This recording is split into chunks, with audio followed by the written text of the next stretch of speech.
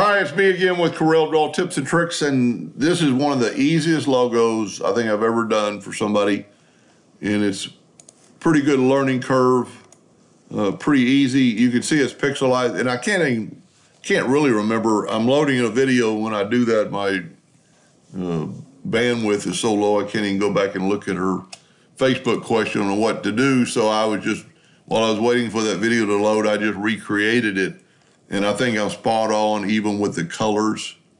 This is really easy. Uh, we're working in millimeters here, and this thing is like 106 millimeters, so I'm going to set my nudge factor to like 110 millimeters so I can nudge some things out of the way if I need to. I draw everything in a hairline, so I'm going to start drawing with a three-point curve. I'm going to do this line here first, probably the most difficult, but it's still very easy. I'm going to get kind of like in the center of that line and drag a line to that. I'm going to start moving it down. I'm going to hold the control button down. I'm going to get a more uh, symmetrical line. Now you can see that this circle is not a true circle, but we can get the shape tool and grab a node and make it more into that line. Now, if I was going to do this for the customer, I would go back and uh, maybe do this and uh, like I do before and just get one side right. I'm going to turn this into a cusp so the other one won't move. And what I was saying about I would want to make this thing equal, but I think it's pretty close. The second hardest one is going to be this one. Just go from the center, kind of parallel across, holding down the control button with the line. This one's more symmetrical. Let's zoom in here, get the shape tool, and bring that in.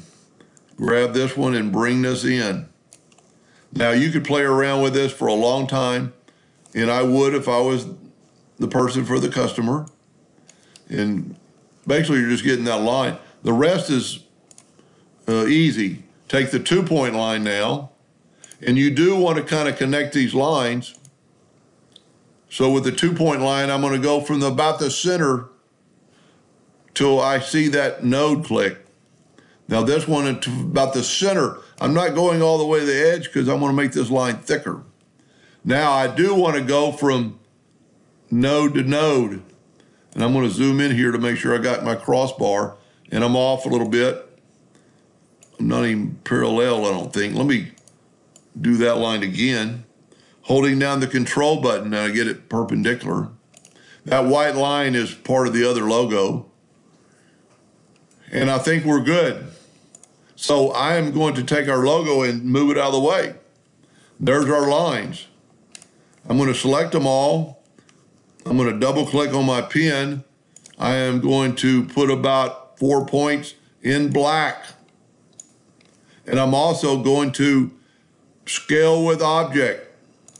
Now that's not quite as thick as the logo, so we'll back up and we'll go to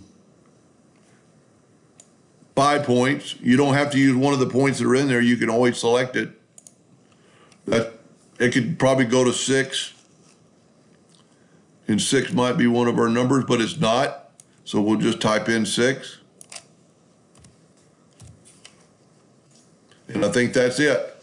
Now, same thing with these lines. And I don't know if she's engraving this or sublimating it to get the true color, but we're going to get the two point line and there's an edge holding down the control button to that next perpendicular. There's an edge. Whoop.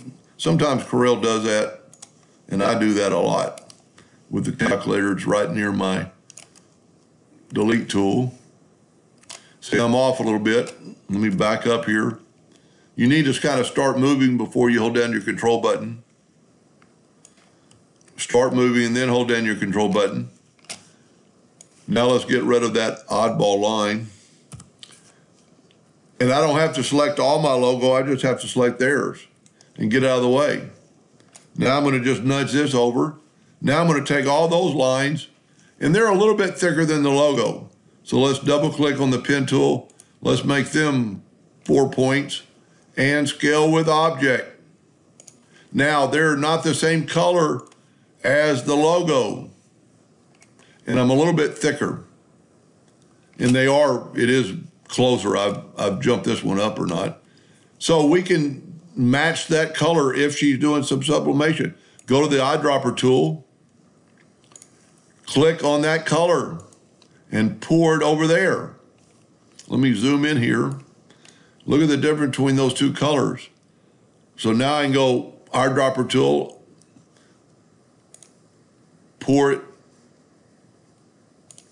and you'll you'll see a no go and a go sign.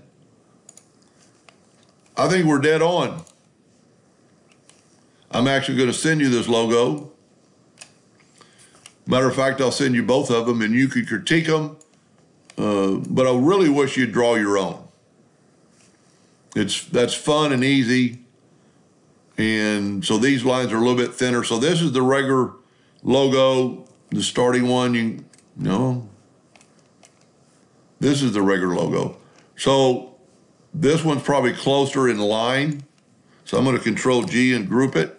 Now remember that we, and I missed some lines. Remember that we scaled with object. And I'm going to show you why. I'm going to make a duplicate of that guy.